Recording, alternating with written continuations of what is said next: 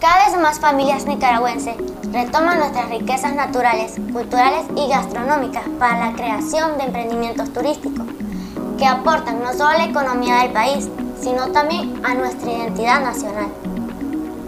Emprender es una tarea que demanda mucha creatividad, principalmente cuando utilizamos tecnología y redes sociales para promocionar nuestro emprendimiento de manera atractiva.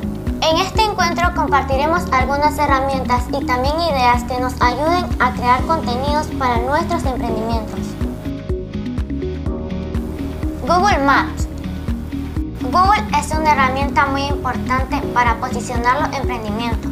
En concreto, la herramienta de Google Maps nos permitirá registrar la ubicación de nuestro local o emprendimiento, al estar vinculada con la base de datos de prácticamente todas las redes sociales.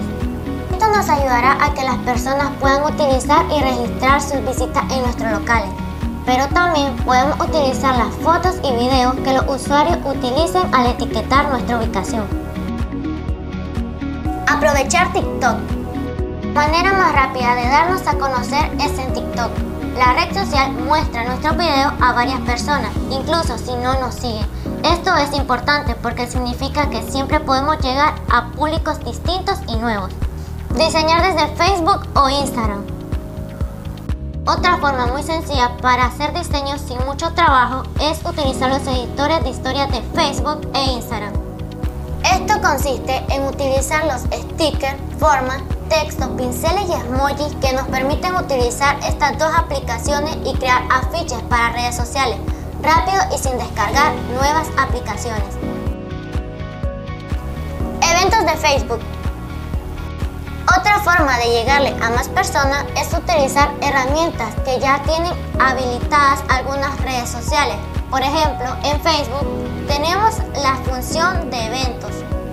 Debemos poner foto de portada y de perfil de la actividad, explicar si es una actividad virtual o presencial, agregar datos específicos y comenzar a publicar en el propio evento.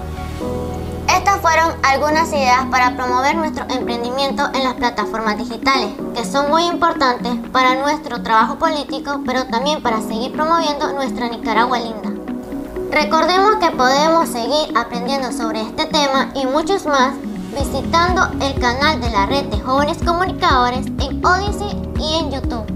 Hasta la próxima.